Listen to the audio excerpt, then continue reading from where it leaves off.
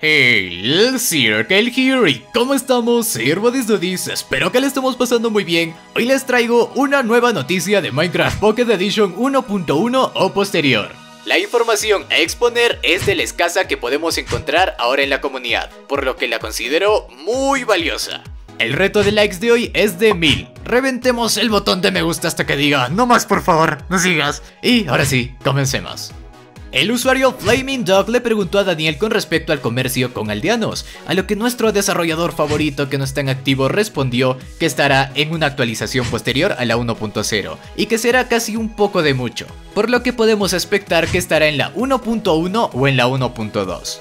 Esto no es para sorprenderse, ya que hasta en el juego podemos destacar el botón de interacción con aldeanos.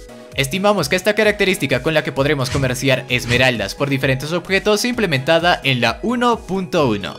Y esta es la noticia, comercio con aldeanos confirmado. Ahora déjame saber en la caja de comentarios, ¿qué otro mineral te gustaría que implementaran? A mí me gustaría que implementaran las perlas y que se puedan comerciar de la misma forma pero con otros mobs interactivos. Quién sabe, quizá con las brujas. Espero tu respuesta en la caja de comentarios.